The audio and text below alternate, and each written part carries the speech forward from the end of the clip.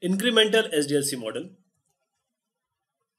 What is an incremental SDLC model? Software Development Life Cycle Model. This is the figure which shows the various phases of incremental SDLC model. The most important thing of incremental SDLC model is increment.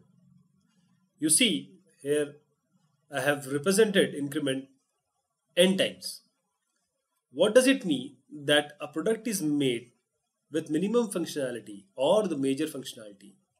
Then various features or functionalities are added again and again and this iteration goes on and on till the user requirement are met.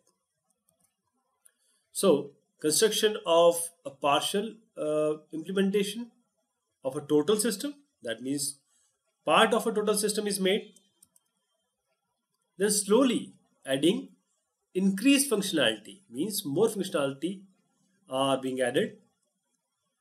The incremental model prioritizes requirements of the system and then implements them in groups. That means that user may require certain functionality uh, you know in the first version or a prototype uh, kind of thing and he may require certain functionality uh, as optional. So they may be added later. So first in incremental uh, sdlc model major functionality are catered. Each subsequent release we again add a function and always the next release will have um, more functionality than the previous one. And finally it is done till your design is fully implemented. What are the strengths of incremental model? Develop high risk or major function first. Those functions which are important are being carried out or made functional. Each release delivers an operational product. Even the first version also is a operational, completely operational product. Customer can respond, can give ideas, can use the product. And what is this divide and conquer uh, you know paradigm is followed means we divide the functionalities in different parts and take up those functionalities which are important and then the least important likewise uh, initial uh, delivery cost is very less because the functionalities are uh, uh, you know very limited.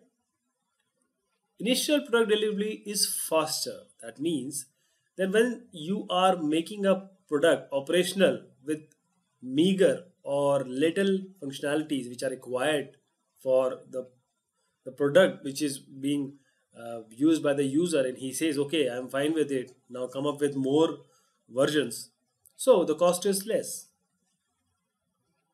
And customer gets its functionality the major functionality very early.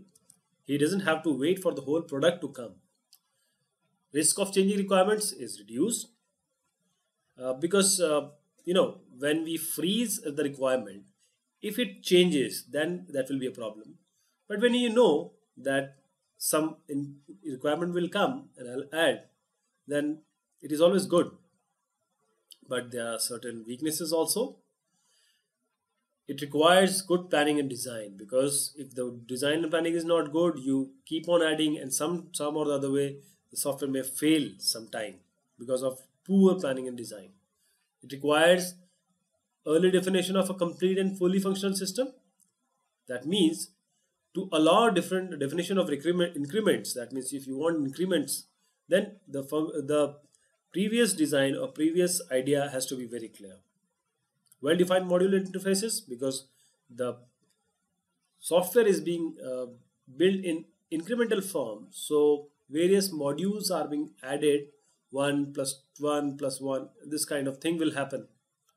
So it has to be well defined the interfaces of between the modules should be well defined the total cost of the, of the complete system is not lower because you first product first functional system has some amount then again you make a release then again you make a release so the cost will ultimately be higher.